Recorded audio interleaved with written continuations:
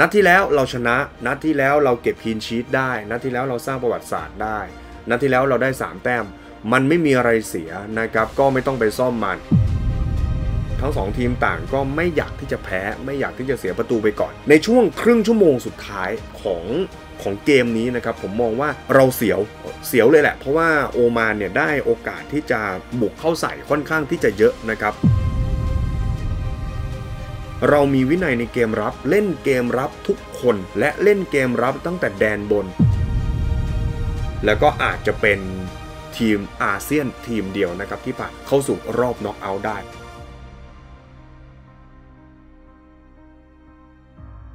สวัสดีครับ ยินดีต้อนรับเข้าสู่จอนคอร์เนอร์ครับ ทุกเรื่องราวมีมุมมองนะครับ มุมมองหลังเกมทีมชาติไทยกลับมาอีกครั้งหนึ่งครับ นัดล่าสุดนะครับของทีมชาติไทย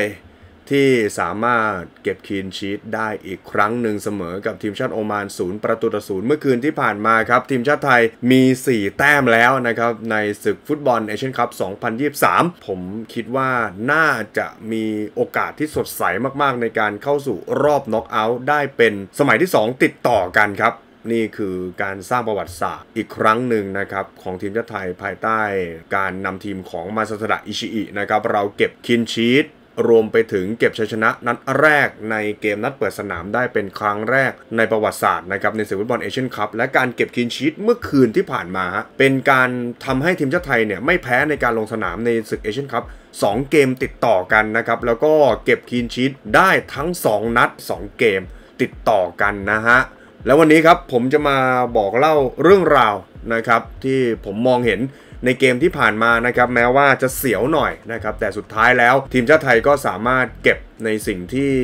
เป็นผลการแข่งขันที่ต้องการมาได้นะครับแต่ก่อนที่จะไปฟังนะครับก็อยากให้ทุกท่านกดไลค์กดแชร์นะครับกดซับสไคร b ์เป็นกำลังใจให้กับช่องจอนนะครับตอนนี้ก็โอ้เร็วเลยนะฮะไปถึงหลัก 30,000 sub นะครับหลังจากที่ ลงคลิปรัวๆในช่วงเอเชียนคัพนะครับขอบคุณทุกท่านนะครับด้วยใจจริงนะครับในเกมนี้ครับทีมชาติไทยลงสนามด้วยสเวตผู้เล่นตัวจริงนะครับมาซาทาดะ อิชิอิเนี่ยส่งผู้เล่นตัวจริง 11 รายนะครับเหมือนกับผู้เล่นตัวจริงในเกมนัดล่าสุดนะครับเกมนัดก่อนที่สามารถเอาชนะคีร์กีซสถานได้ 2 ประตูต่อศูนย์นะครับไม่มีการเปลี่ยนแปลงใด ๆ นะฮะเข้าสูตรคือเป็นสูตรที่เรียกว่าถ้าของมันไม่เสียก็ไม่ต้องไปซ่อมมัน นัดที่แล้วเราชนะ นัดที่แล้วเราเก็บคีนชีตได้ นัดที่แล้วเราสร้างประวัติศาสตร์ได้ นัดที่แล้วเราได้ 3 แต้ม มันไม่มีอะไรเสียนะครับ ก็ไม่ต้องไปซ่อมมันพิรดลฉำรัศมี นัดที่แล้วถูกเปลี่ยนตัวออกนะครับ โดยมีอาการบาดเจ็บระหว่างเกมการแข่งขัน นัดนี้ผ่านความฟิต ลงสนามได้ก่อนหน้านี้ก็มีข่าวว่าพิรดลถ้าไม่ฟิตก็อาจจะเป็นคนอื่นนะครับที่จะเล่นในตำแหน่งพิรดลแทน แต่เมื่อพิรดลเนี่ย ฟิตพอนะครับทุกอย่างก็เหมือนเดิมครับ ประตูเนี่ยก็เป็นปฏิวัติคำไหมนะครับแบ็กซ้ายธีราทรบุญมาทันนะครับลงสนามเป็นเกมที่ร้อยด้วยนะครับสำหรับธีราทรบุญมาทันในเกมที่เจอกับโอมานแบ็กขวาก็เป็นนิโคลัสมิเคลสันนะครับจับจองพื้นที่แบ็กขวาแน่นอนอยู่แล้วเซนเตอร์ 2 รายครับเอเลียสดอเลาะจับคู่กับพรรษา เหมวิบูลย์นะครับเป็น 2 เซนเตอร์ที่มีรูปร่างที่สูงใหญ่ชนกับนักเตะต่างชาติ นักเตะในระดับทีมเอเชียได้นะครับกองกลาง 2 รายครับวีรเทพป้อมพันธ์จับคู่กับพิรดลฉ่ำรัศมีปีกซ้ายครับบดินผาลาปีกขวาสุพนัทเหมือนตาครับหน้าต่ำเป็นสุประโชคสารชาตินะครับแล้วก็หน้าเป้าสุภชัยใจเด็ดนัดที่แล้วฮอตนะฮะทำคนเดียว 2 ประตูนัดนี้ก็ลงสนามเป็นกองหน้าตัวเป้า เหมือนเคยครับ เกมนี้ครับทีมชาติไทยเนี่ยหวัง 1 แต้มเป็นอย่างน้อยนะครับบวกแล้ว ก็จะกลายเป็น 4 แต้มโอกาสที่จะเข้ารอบอย่างน้อยเป็นอันดับที่ 3 ที่ดีที่สุด แน่นอนครับมันสูงมากๆนะครับถ้ามี 4 แต้มเพราะครั้งก่อนนะครับในปี 2019เนี่ยที่มีอันดับ 3 ที่ดีที่สุดนะครับตอนนั้นเนี่ยทีมอันดับ 3 ที่ดีที่สุด ทีมอันดับสุดท้ายเลยเนี่ยที่ผ่านเข้าสู่รอบต่อไป นั่นก็คือเวียดนามครับ เขามี 3 แต้ม ผลต่างประตูได้เสียลบ1ด้วย ยังเข้ารอบเลยเพราะฉะนั้นเราเนี่ยมองในการเก็บ 4 แต้มไว้ก่อนนัดที่แล้วเราได้ 3 แต้มแล้วนัดนี้ 1 แต้มเราน่าจะเข้ารอบแทบจะแบบ 99%นะฮะโดยในเกมนี้มันเป็นเกมที่ถามว่า 1 แต้มยากไหมมันก็ก็ยากในระดับหนึ่งเพราะว่าเราเนี่ยก่อนเกมนะครับเราอยู่อันดับที่ 110 2 ของโลกนะครับหรือว่าอันดับที่ 21 ของเอเชีย ส่วนโอมานเนี่ยเขาเป็นอันดับ 9 ของเอเชียนะครับอยู่ในอันดับ 73 ของโลก อันดับเนี่ยห่างกันอยู่ราวๆประมาณสัก 40 อันดับ แล้วก็ก่อนหน้านี้นะครับเราก็เป็นชนะเขายากนะครับแต่ว่าเกมนี้ครับในช่วงครึ่งแรกอิชิอิเนี่ยเล่นในรูปแบบที่เหมือนกับ เรามีผลการแข่งขันที่ต้องการอยู่ฮะศูนย์ประตูต่อศูนย์เพราะฉะนั้นเราค่อนข้างที่จะแพ็กเกมรับให้เหนียวแน่นนะครับแล้วก็แพ็กเกมแดนกลางคอมแพคเกมแดนกลางให้เหนียวแน่นแล้วก็ใช้จังหวะโต้กลับ เราเนี่ยมีโอกาสนะครับที่จะได้ประตูขึ้นนำ1-0เนี่ยจากเอเลสดอลเลาะได้หม่งนะครับในนาทีที่ 15 รูปเกมในจังหวะครึ่งแรกเนี่ยมันเป็นโอมานเนี่ยได้ครองบอลมาก แต่ว่าเขาหาจังหวะเข้าทำเราได้น้อยนะครับครึ่งแรกนะ แต่ว่าเราเนี่ย ใช้จังหวะฉาบฉวย แล้วก็ได้โอกาสยิงที่มากกว่าด้วย ในช่วง 25 นาทีแรกนะครับผมจดเอาไว้เลย โอมานเนี่ยครองบอลได้มากกว่าเท่าตัวนะครับ 67%ส่วนเราเนี่ย 33%นะครับการต่อบอลเนี่ยครึ่งต่อครึ่งเลยประมาณสัก 180 กว่าต่อ 80 กว่าเกินครึ่งด้วยซ้ำแต่ไทยเนี่ยมีโอกาสยิงเนี่ย3ครั้งเข้ากรอบครั้งหนึ่งนะครับนั่นก็คือลูกโหม่งของเอเลียสดอเลาะนะครับ ส่วนโอมานเนี่ยมีโอกาสยิงแค่ครั้งเดียวแล้วก็เข้ากรอบครั้งหนึ่ง คือเราเนี่ยใช้จังหวะฉาบฉวยแล้วก็สร้างโอกาส ได้เยอะกว่า เกมก็ค่อนข้างที่จะอึดอัดนะครับ แต่ว่า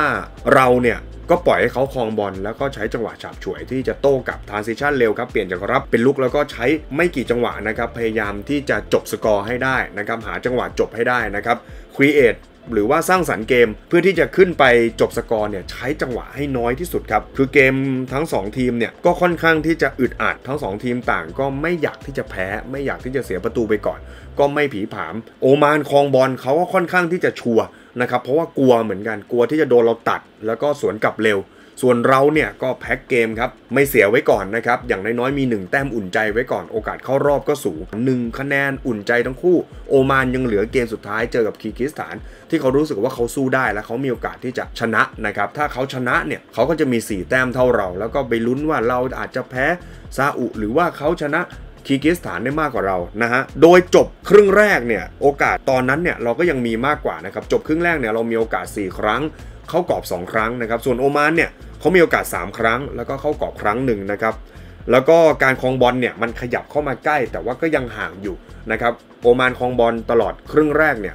61%แล้วก็ส่วนเราเนี่ย39%นะครับเปอร์เซ็นต์ต่างๆเนี่ยมันการคองบอลเขามากกว่าจำนวนการจ่ายบอลเขามากกว่า แต่โอกาสการยิงเรามากกว่า แล้วก็เตะมุมเนี่ยเราได้ถึง 3 ครั้งส่วนเขาได้ครั้งเดียวเพราะฉะนั้น มันบ่งบอกว่าจังหวะฉาบฉวยของเรา เราเล่นได้ดีนะครับในจังหวะแบบนี้ในช่วงครึ่งแรก โดยนักเตะที่เล่นได้ดีที่สุดคนหนึ่งนะครับในช่วงครึ่งแรกที่แฟนบอลค่อนข้างชื่นชมมากๆนั่นก็คือเพียรดนฉ่ำรัศมีครับนี่เล่นทั้งเกมรุกทั้งเกมรับนะครับความโดดเด่น ในเกมก่อนหน้านี้ที่ชนะคีกิสถานเนี่ยวีรเทพป้อนพันมีความโดดเด่นมากกว่าพีรดลก็เหมือนกับเป็นคนที่เรียกว่า อยู่ในด้านหลังวีรเทพคอยสกรีนให้นะครับจนมีอาการบาดเจ็บแล้วก็เปลี่ยนตัวออกแต่ว่าในเกมนี้ดูเหมือนว่าวีรเทพเนี่ยเหมือนโอมานเขารู้พิษสงครับพอจับบอลเนี่ยคนมันจะเข้าหาวีรเทพแบบบึบบึบบึบเลยวีรเทพเนี่ยออกบอลเหมือนจะช้าไปกว่า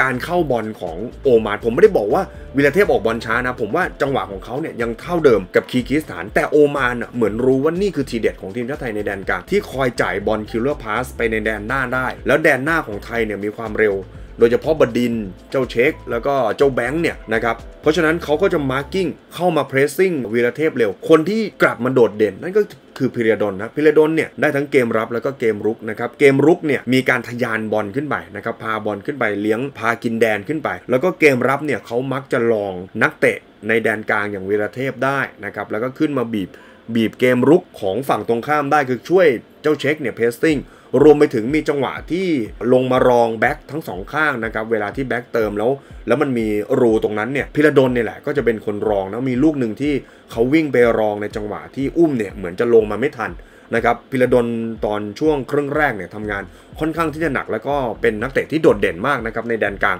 ของทีมชาติไทย เกมในช่วงครึ่งหลังเนี่ยต้องต้องยอมรับครับว่าทีมชาติไทยเนี่ย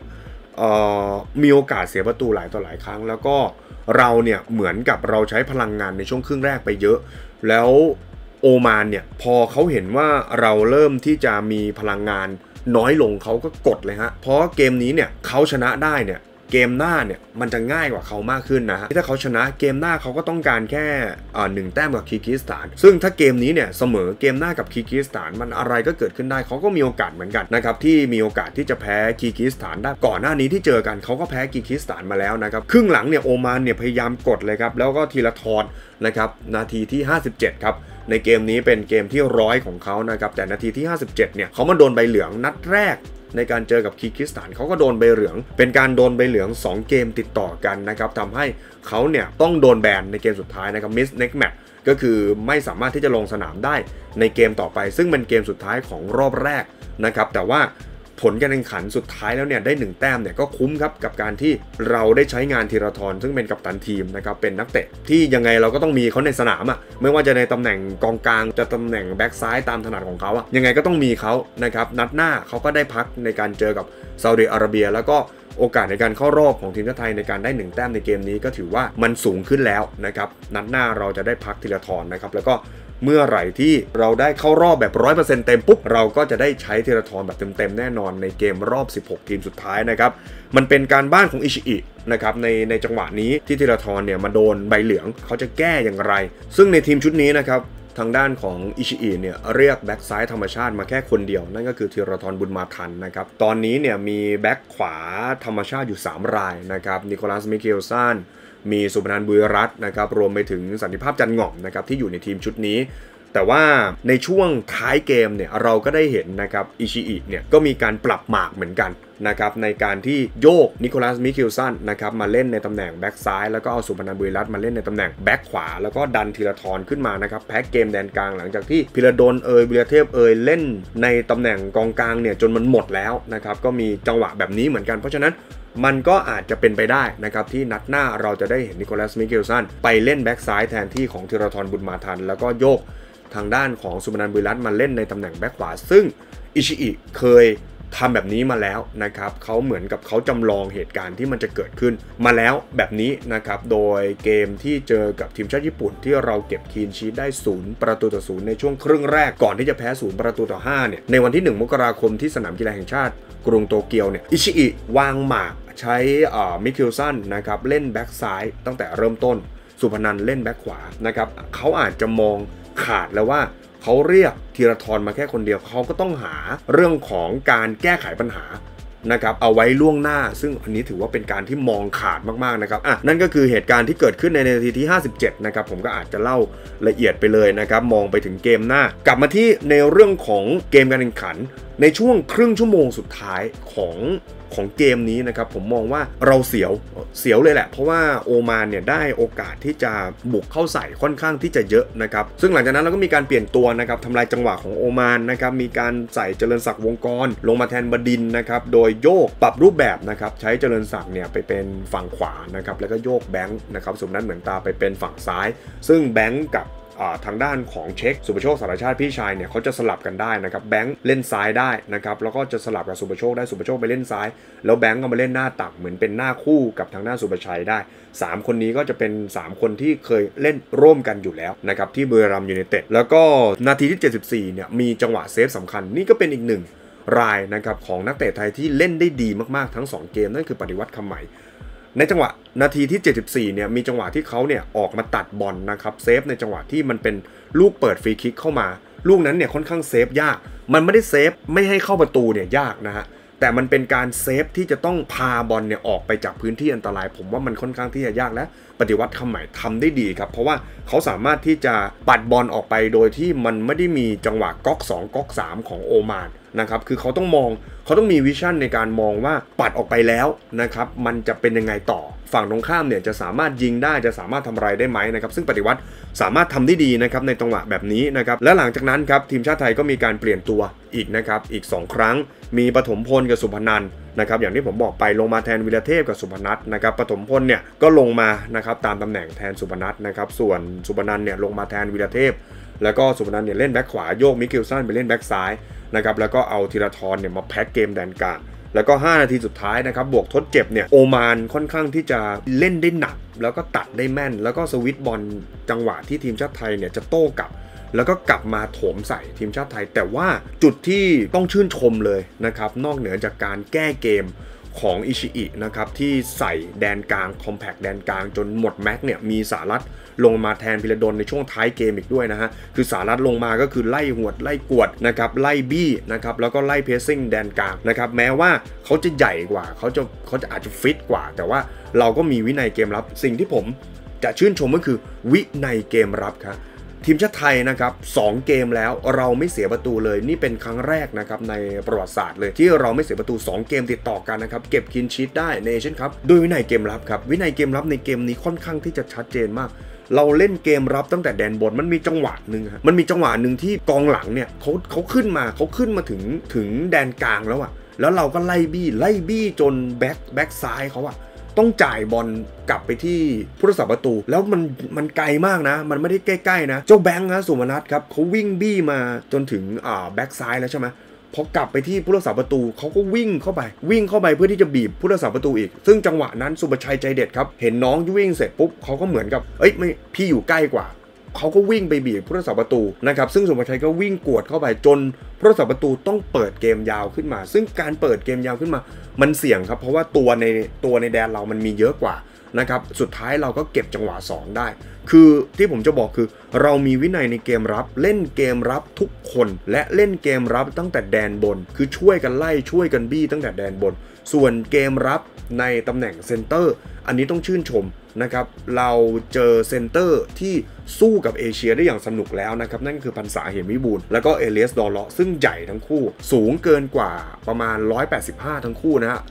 ราวๆประมาณ 190 ทั้งคู่เลยเพราะฉะนั้นความใหญ่ความสูงเขาไม่มีความกลัวนักเตะ แบบโอมานหรือคีร์กีซสถานอยู่แล้วสำหรับเซนเตอร์ 2 รายนี้ก่อนหน้านี้ เราเคยพยายามตามหานะครับคู่เซนเตอร์ตัวใหญ่ที่จะไปชนที่จะไปแกร่งพอที่จะสู้กับทีมระดับเอเชียนะครับ เราไปพยายามใช้ ตัวออกบอลดีๆนะครับอย่างกฤษดากาแมนสุดท้ายครับเอเลียสดอเลาะกับพรรษาเหมวิบูลย์ครับเวลาที่เราไปเจอกับทีมเอเชีย ผมว่าตอบโจทย์ ถ้าเจอกับทีมอาเซียนโอเค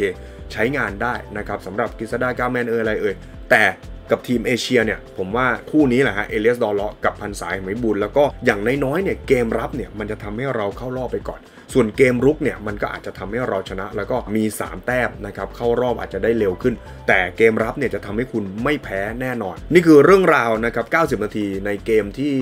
ถือว่าเป็น1แต้มที่สำคัญมากๆ นอกเหนือจากโอกาสผ่านเข้ารอบที่มันสูงขึ้นแล้วนะครับตอนนี้เนี่ยทีมชาติไทยนะฮะหลังจากที่เปิดสนามเราอยู่อันดับเกินกว่า 110 ของโลกนะครับ อยู่ประมาณสัก 112 113 นะ แต่หลังจากที่เราชนะคีกิสถาน แล้วก็เราเสมอกับโอมานได้ คะแนนอันดับโลกเราจะไต่ขึ้นมาค่อนข้างที่จะเยอะ คะแนนแบบเรียลไทม์ตอนนี้นะครับหลังจบ matchday ที่ 2 ทีมชาติไทยน่าจะอยู่อันดับประมาณ 104 แต่นี้รอรอประกาศแบบ100%นะเพราะเราต้องต้องรอดูคู่แข่งขันอื่นๆนะครับในทั้งเอเชียที่มีการแข่งขันอยู่ รวมไปถึงในแอฟริกันเนชั่นคัพที่มีการแข่งขันอยู่เช่นเดียวกัน แต่เอาแบบเรียลไทม์เลยตอนนี้เราอยู่อันดับประมาณสัก 104 105นะครับแล้วก็ถ้า จบการแข่งขันในแมตช์ที่ 2 ครบทุกกลุ่มนะครับแล้วมันเป็นใจเนี่ยเรามีโอกาสนะครับที่จะไต่ไปถึงท็อปร้อยของโลกนะครับอีกครั้งหนึ่งแล้วก็อาจจะแซงเวียดนามที่แพ้ไป 2 เกมแรก เกมแรกเนี่ยเขาก็แพ้นะครับให้กับทีมชาติญี่ปุ่น เกมที่ 2 เขาก็แพ้แบบพลิกล็อกเล็กๆนะครับให้กับทีมชาติอินโดนีเซีย เพราะฉะนั้นเรามีสิทธิ์ที่จะกลับไปเป็นเบอร์หนึ่งของอาเซียนอีกครั้งหนึ่งนะครับทั้ง ในเรื่องของอันดับโลก แล้วก็ในเรื่องของคะแนน ranking ฟีฟ่าแล้วก็อาจจะเป็นทีมอาเซียนทีมเดียวนะครับที่ผ่านเข้าสู่รอบน็อกเอาท์ได้โอ้โหพูดแค่นี้ครับก็น่าจะทำให้ทุกท่านนะครับมีความสุขกับการที่เราได้เห็นผลงานของทีมชาติไทยเป็นแบบนี้นะครับในช่วงที่มีมาซาทาดะอิชิอินะครับเข้ามาคุมทัพ ยังเหลืออีกหนึ่งนัดครับสำหรับทีมชาติไทยในทัวร์นาเมนต์นี้ ในการเจอกับซาอุดิอาระเบียครับในวันที่ 25 มกราคมที่จะถึงนี้นะครับยังไงก็ต้องติดตามเชียร์กันต่อนะครับแม้ว่าโอกาสจะเข้ารอบจะสูงแล้วนะครับแล้วก็ไปลุ้นกันครับว่าถ้าเข้าไปแล้วนะครับร้อยเปอร์เซ็นต์เมื่อไหร่เข้าไปแล้ว เราจะไปเจอกับใครเราจะเป็นอันดับที่เท่าไหร่ของกลุ่มนะครับนี่คือเรื่องราวจอห์นคอนเนอร์นะครับที่ผมนำมาฝากทุกท่านนะครับนำมาเล่าให้ทุกท่านฟังในวันนี้นะครับยังไงก็ฝากกดไลค์กดแชร์กด Subscribe เป็นกำลังใจให้กับช่องจอห์นในทุกช่องทางด้วยนะครับทั้ง YouTube Facebook แล้วก็ TikTok ขอบคุณมากครับทุกท่าน แล้วพบกันใหม่ในโอกาสหน้า สวัสดีครับ